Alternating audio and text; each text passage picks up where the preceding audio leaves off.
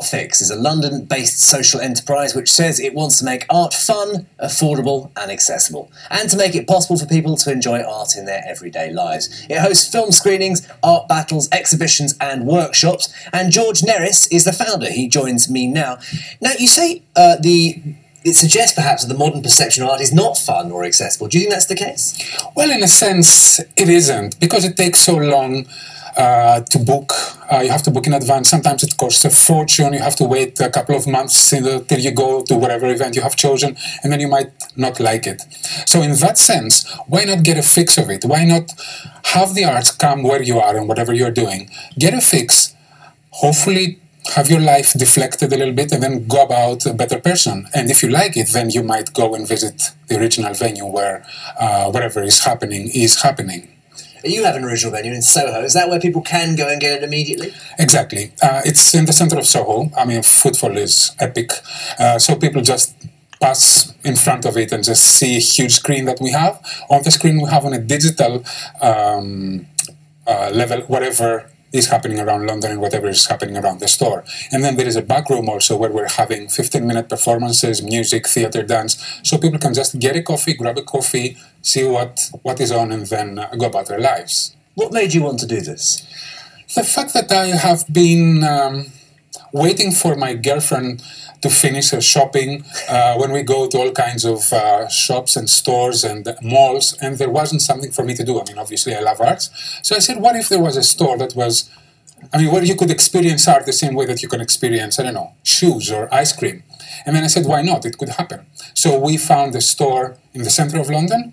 A, I mean, it used to be an adult store now it's uh, an art store people would get in and get their fix of whatever they were getting now they're getting a fix of art so what what made me do it was the idea that art can happen anywhere you are and whatever you're doing. You get a fix. I think that art makes you a better person, makes your life better. And we'll, we'll see some of your, your, your shop exactly. now. Tell us about it. So um, the store is small, and that goes to show that art can be anywhere. I mean, for example, this is drawings that people do on their cups of coffee. We're selling coffee. And there's a small exhibition space. This is our exhibition space, is no more, no bigger than 35, 40 square meters. Everything is happening there and in the front of the store as well. So this is an exhibition, but this exhibition only lasts for uh, some hours. It's not forever. It's just for a day, and then tomorrow there's something else on, and there is music. There is live music for 15 minutes, and then if you come back after an hour, you want another coffee or whatever, you get uh, a scene from a theater play, and then you get something else. So there's always something happening um, in the store, in the back, and in the front. You don't even have to uh, bother. You just sit there. You have your coffee, and uh, here's the front of the store, and uh, you get to see uh, on the screen what uh, is happening around London in the Tate, in the British Museum, in small, big galleries, or even next door. One thing we talked about, um, I mentioned in the introduction to this, was art battles. Yes. Tell me a little about that and, yeah. and how they work. Okay, so we are trying to make the arts, as I said, more fun. Um, but actually, this was an idea of the 60s, you know, where people believed, and I think they still believe that painting or whatever is happening by itself. So in front of people, we have we bring one artist against the other. It could be two painters, like this is the case, or it could be a painter and a poet, or it could be a musician against a dancer. And we have a common uh, theme. We have a model usually.